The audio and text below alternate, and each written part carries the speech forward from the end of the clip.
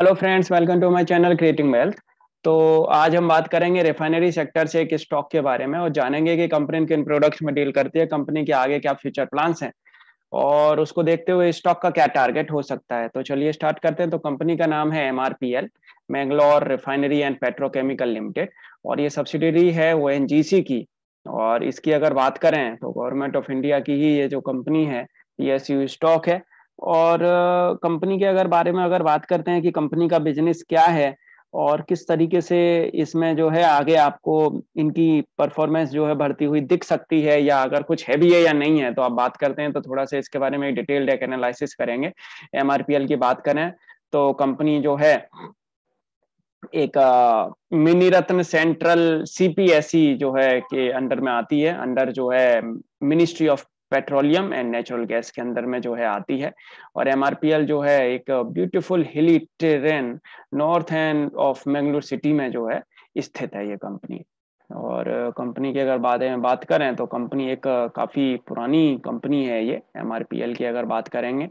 तो यहाँ पे अगर बात करेंगे इनकी एक मैन्युफैक्चरिंग uh, यूनिट्स की तो crude and vacuum distillation units है कंपनी के पास में हाइड्रो क्रैकर यूनिट्स है कंपनी के पास में सोकर बिस ब्रेकर्स यूनिट है एंड परफॉर्मिंग यूनिट्स तो इस तरीके से कंपनी के पास में ये सारी की सारी जो है यूनिट्स मौजूद हैं। ये सारी की सारी आप देख सकते हैं।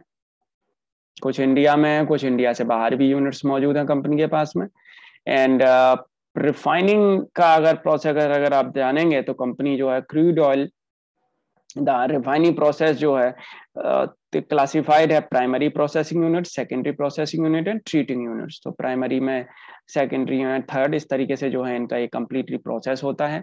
एंड पेट्रोकेमिकल में अगर आप देखेंगे तो इनके पास में प्रोपिलीन यूनिट है।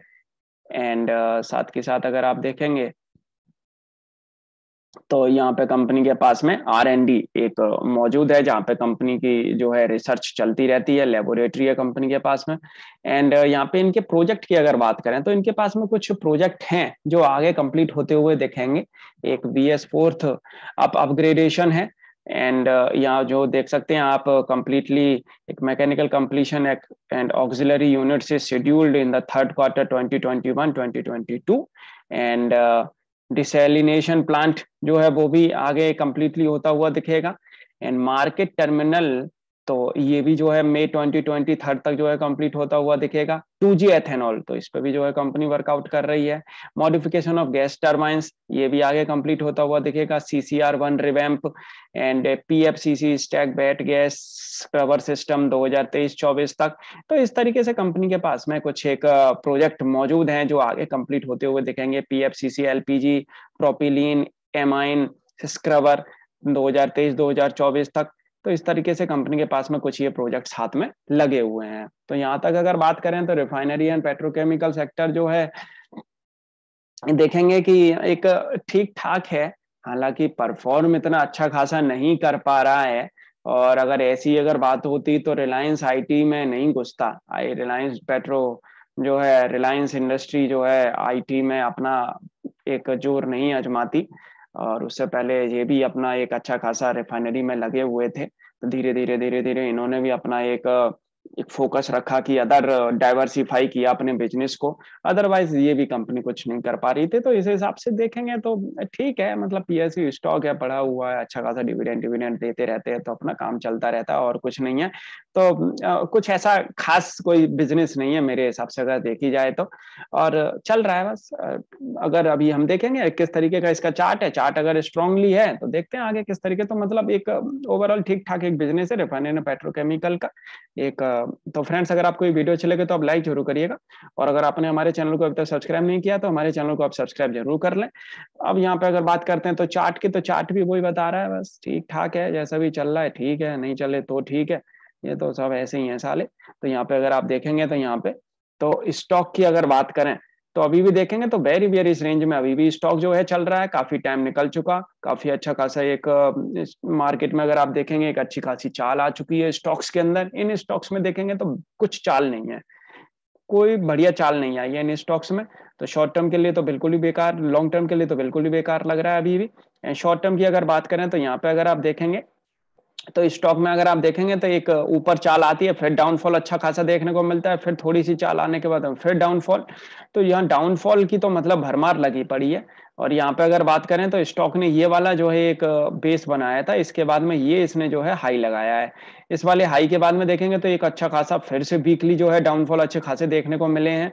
तो शॉर्ट टर्म के लिए भी अगर बात करें तो इस स्टॉक को अगर आप लेते भी हैं एक हफ़्ते, दो हफ़्ते, तीन हफ़्ते या एक, दो महीने के लिए तो आप देखेंगे इस, जिस तरीके से ये जो डाउनफॉल्स जो आते हैं, तीन तीन, चार चार महीने तक स्टॉक वहीं के वहीं वहीं के वहीं घूमता रहता है। तो शॉर्ट टर्म के लिए भी कुछ खास ऐसा नहीं है, हालाँकि स्टॉक देखेंगे तो आप यहाँ से घूमता हुआ नज़र आ रहा है, ऊपर की तरफ़। ये वाली कैंडल एक अच्छी खासी एक कैंडल इसकी ग्रीन कैंडल फॉर्मेशन ठीक ठाक हो रहा है। लेकिन अगर अभी भी देखेंगे तो आप बेरिश रेंज में ही है अभी भी। तो शॉर्ट टर्म लॉन्ग टर्म के लिए ऐसी कोई खास इसमें कोई कॉल बनती हुई नज़र नहीं आ रही है, क्योंकि स्टॉक कुछ ऐसा कोई एक परफॉर्मेंस दिखा नहीं रहा सही सा। तो इस वजह से मेरे हिसाब से तो ये है कि आप इससे स्टॉक से दूरी रहें तो अच्छा है। कोई और स्टॉक पकड़ें, यहाँ से अपना पैसा निकाल के शॉर्ट टर्म के लिए लॉन्ग टर्म के लिए किसी अदर स्टॉक में लगाएँ आईटी स्टॉक्स में लगाएँ या किसी अदर सेक्टर के स्टॉक्स में लगाएँ तो मेरे हिसाब से वो काफ़ी अच्छा खासा रहेगा। या बीपीसीएल में भी लगा सकते हैं, वो भी अच्छा खासा चार्ट पैटर्न है उसका, बढ़िया काम कर रही है कंपनी आईओसी में लगा सकते हैं इंडियन ऑयल कॉरपोरेशन में। बजाय यहाँ पे पड़ा रहने के अपना अमाउंट तो वहाँ पे मुझे लगता है बढ़ने के चांसेस ज़्यादा से ज़्यादा रहेंगे। इन स्टॉक्स में जब तक कोई एक अच्छा खासा फॉर्मेशन अगर नहीं होता चार्ट फॉर्मेशन जब तक ऐसे स्टॉक्स में टिके रहने का कोई फ़ायदा नहीं दिख रहा है। यहाँ पे अगर बात करेंगे तो तो आप देखेंगे तो माइनस में ईपीएस है डिविडेंड यील्ड भी कुछ है नहीं। स्मॉल कैप कंपनी है टेन की फेस वैल्यू है इसकी। कुछ खास, आप देखेंगे तो फंडामेंटल भी नहीं है कंपनी के। डिविडेंड की अगर बात करेंगे तो उन्नीस के बाद में डिविडेंड भी नहीं दिया है। बात करते हैं कंपनी की रेवेन्यू की तो रेवेन्यू में देख सकते हैं, गिरावट देखने को मिल रही है। प्रॉफिटेबिलिटी में अगर बात करें तो यहाँ पे देखेंगे तो एक अच्छी खासी जोरदार गिरावट देखने को मिल रही है और लॉस पोस्ट किया कंपनी ने दो साल से। यहाँ पे अगर डेप्ट की बात करें तो डेप्ट बहुत अच्छी खासी हो गई है कंपनी के ऊपर। यहाँ पे अगर रेवेन्यू की अगर बात करेंगे क्वार्टर ऑन क्वार्टर तो यहाँ रेवेन्यू हालाँकि बढ़ता हुआ इसका दिख रहा है। प्रॉफिटेबिलिटी की अगर बात करेंगे तो कभी अप तो कभी डाउन है। अच्छा खासा ऐसे चल रहा है इसका। यहाँ पे डिस्टर्बेंस और एफ़ आई के पास में हालाँकि जरा सी होल्डिंग जो है मौजूद है। और गवर्नमेंट ऑफ़ इंडिया के पास में हालाँकि अगर आप देखेंगे तो एक अच्छी खासी होल्डिंग जो है मौजूद है। इसमें ओ एन जी सी के पास में 72 के आसपास है and H P C L के पास में 17 परसेंट के आसपास है। तो देख सकते हैं। और यहाँ पे अगर आप देखेंगे तो माइनस में आर है। और डेप्ट की तो बात करें तो ज़बरदस्त डेप्ट इस कंपनी पे जो है हो चुकी है अभी तक। भगवान ही बचाए ऐसी कंपनियों से। और ऐसे में अगर पैसा अगर आपने लगा भी रखा है तो आपके पैसे को भी एक सुरक्षा मिलनी बहुत ज़रूरी है। बजाय यहाँ से कहीं और अगर आप अपना अमाउंट लगाते हैं, वो आपके लिए बहुत अच्छा खासा रहेगा। अभी निकलें, जितनी जल्दी निकलेंगे, उतना अच्छा खासा रहेगा। जितना लेट करेंगे, उतना, यहाँ से ज़्यादा तो नीचे गिरने के चांसेस हालाँकि नहीं है लेकिन यहीं की यहीं घूमता रहेगा तो कुछ आपको मिलने जुलने वाला भी नहीं है।